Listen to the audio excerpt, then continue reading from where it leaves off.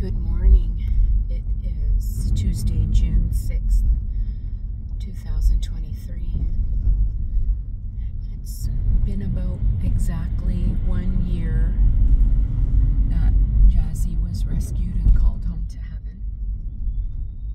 But his official date was June the 8th when the coroner pronounced my beautiful firstborn, blessed son, dead. Um, you know, I've been through many, many, many very challenging, difficult storms in my life.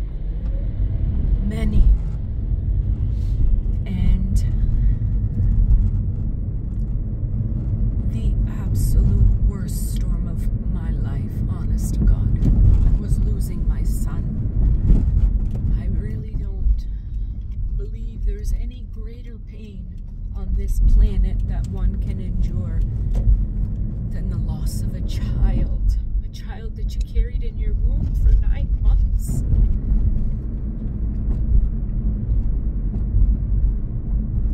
But, but, even through this most challenging storm, I still must say that God is good. God is faithful and He's just. And He is our Redeemer and our Comforter.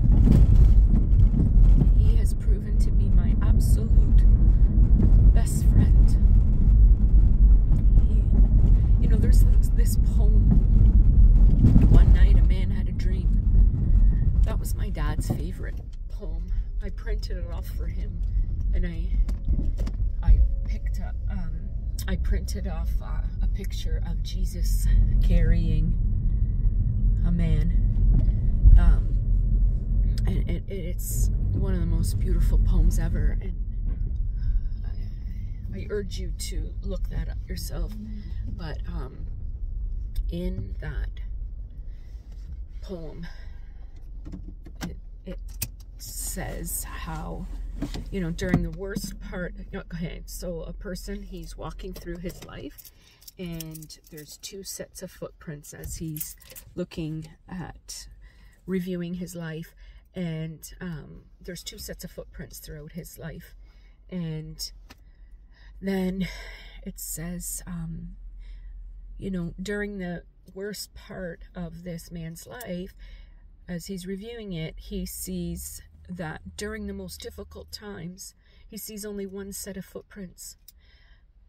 And uh, he is complaining to God and saying, Why, you know, why did you leave me during the most difficult times? There's only one set of footprints. You left me alone. And God said, No, it was then that I carried you. Honestly, I know that God has been carrying me through. And he rescued my beautiful boy. My boy is in eternity. To be absent from the body is to be present with the Lord.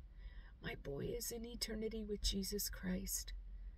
How could I want anything else? There's nothing else I want. There's nothing I desire. I truly am grateful to God, our Creator,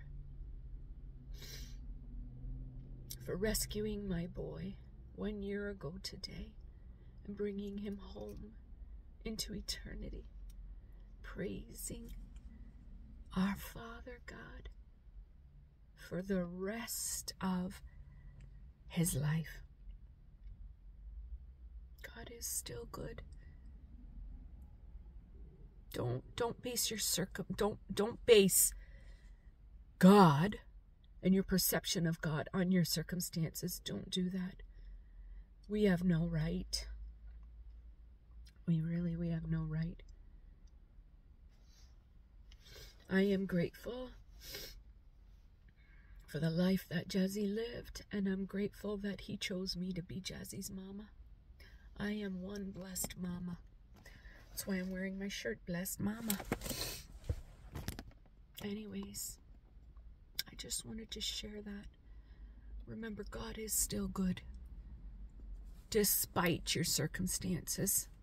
Have a blessed day.